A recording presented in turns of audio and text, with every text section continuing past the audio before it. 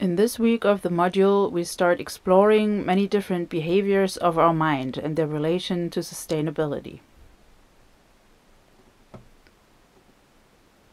Some important concepts that we will explore this week are thinking and cognition, the idea of psychological flexibility, mindfulness, and values. Some core conceptual questions that we'll start to try to answer are how does our mind influence our well being and our ability to cooperate? What exactly are human values, and what is the role of values in our well being and in sustainability? What is mindfulness, and what is its role in our well being and in sustainability? And how does the idea of psychological flexibility influence our well being and our ability to cooperate? There are, there are links to different skills and competencies that we want to develop in students and in ourselves through these themes. So it's the skill, the ability to first of all notice and sort our different inner experiences into certain kinds of concepts. We can also use the themes of uh, this in the following week to develop cooperation competency, evaluation competency, and self regulation competency. So we will see that exploring behaviors of our mind can really be helpful in contributing to the development of these core competencies. Let's just recap what we have already uh, learned in this module so far. So first of all, we had been exploring what exactly is actually behavior through a variety of methods. And we decided that actually things that happen inside of us, like in our mind, thinking, feeling, certain sensations that we notice, many psychologists and behavioral scientists also consider these behaviors, even if they just happen inside of us. These are often called covert behaviors because they are covered or secret and not visible to others compared to the more overt behaviors that are public and visible that we do with our body. And these inner covert behaviors and the outer overt behaviors of organisms, they influence each other. We also mentioned that it can be helpful to consider our inner behaviors, our thoughts, memories, sensations, feelings also as type of behaviors because they share important features with our outer behaviors.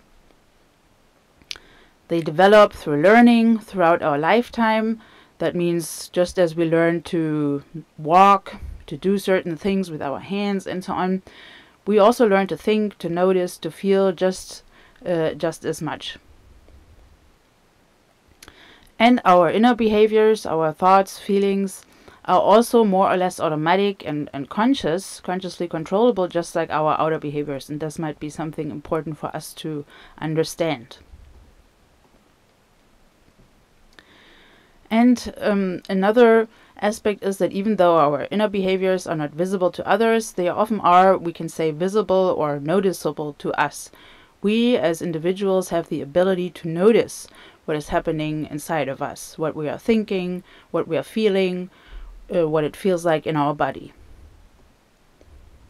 And even though others' inner behaviors are not visible to us, we in fact certainly are spending a lot of time thinking and wondering about what is going on in other people's minds. This is something that um, sometimes is called theory of mind. Our ability to imagine, to predict, to assume, assume what is going on in other people's minds.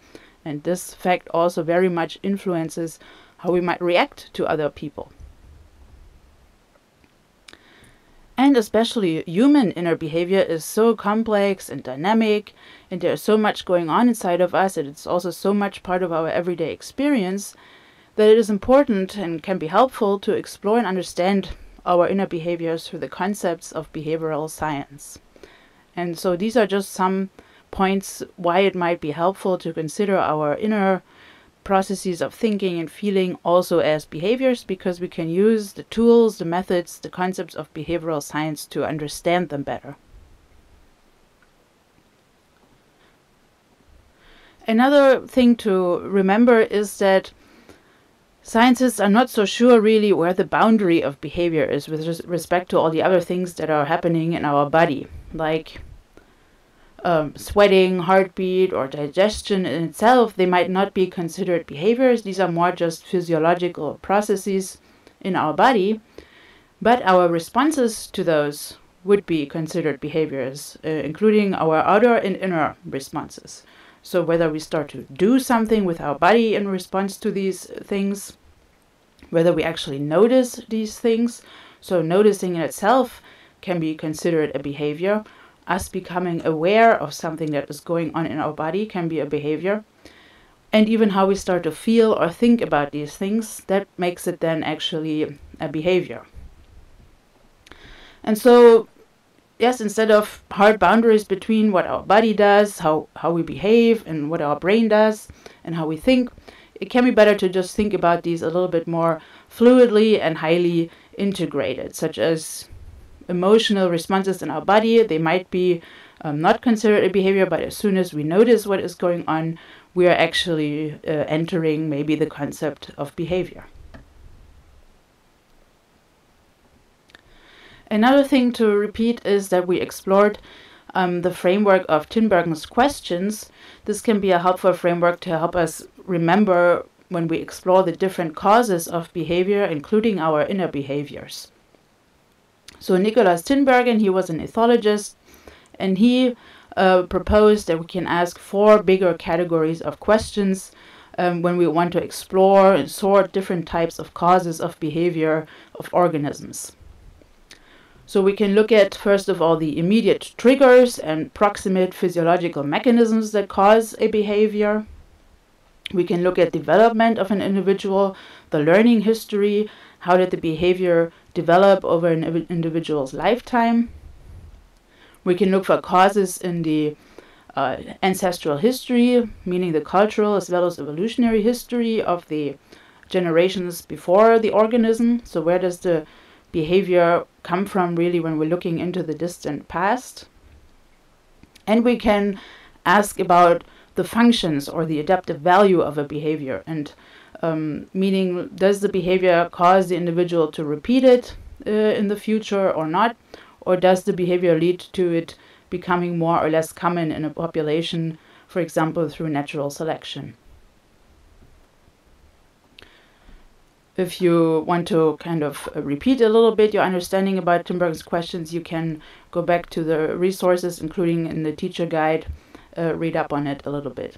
Because we will come back to using this framework over and over again when we're looking at specific kinds of behaviors of our mind. One thing already to mention is that when we're looking at evolutionary history, we can say and we will see that evolution really has shaped our mind.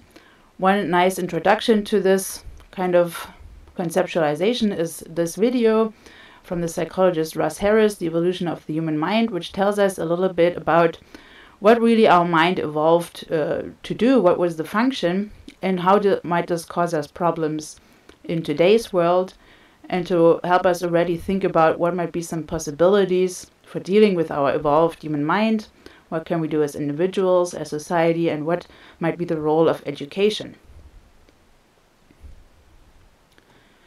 Another idea that uh, we will come back to when we're exploring our mind, our mind is really that cooperation has strongly shaped our mind. Due to our evolutionary history as a cooperative species, our mind has many behaviors that serve to, in fact, foster cooperation within groups as well as competition with other groups. And this is also one aspect that will become important when we're thinking about what might be some challenges or how might our mind influence our ability to cooperate towards common goals even on a global level today.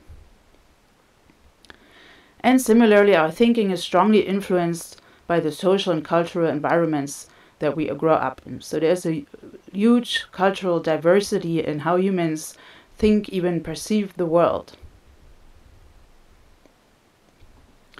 So with these kind of uh, introductory words, let's you, I invite you to already kind of think about you know this big conceptual question: how, do, how does our mind influence our well-being and our ability to cooperate towards a sustainable future?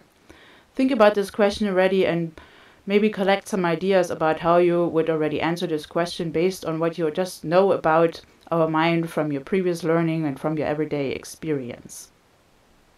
This is really a question that we will continue to explore in the next two weeks.